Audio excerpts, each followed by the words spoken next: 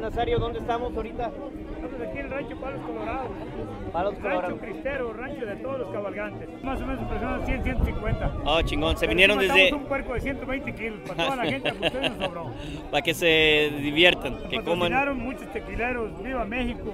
Tequila, el olvido. ¡Viva México! Viva México. Mexicano. Ah. Y los coyotes diario están presentes. Coyotes, Fernando Huerta. Entonces, esto es una tradición de hace 15 años. ¿Cómo se empezó? ¿Una qué? Tuvimos una tatema. En la tatema surgió y nació la cabalgata. Oh.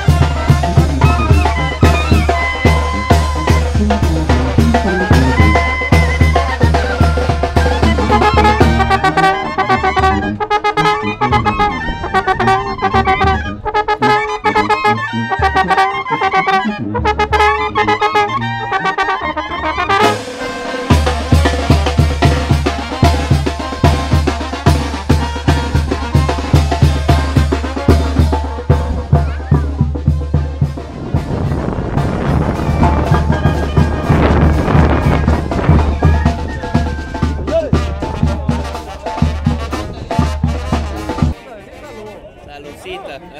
¡Profe! ¡Profe Narco!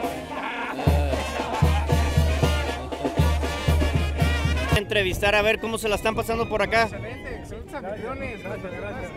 Viva Aranda. Señor Nazario Cordero, excelente. ¿Cómo, cómo les gustó la cabalgata que se aventaron desde, desde Aranda, se da? Sí,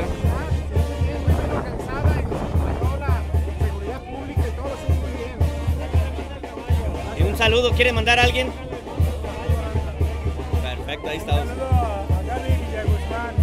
Dígale que la quiero mucho. ¿Cuántos años? 15 años. 15 años de, de cabalgata. De cabalgata, 15 años. Andar en la cabalgata, estar con toda la gente, aquí conviviendo, con Nazario Cordero. Con, con Osario Cordero, a ver. ¿Quiere mandar un saludo a alguien en particular que nos esté viendo por allá? Claro, hay que saludar a todos los arandenses.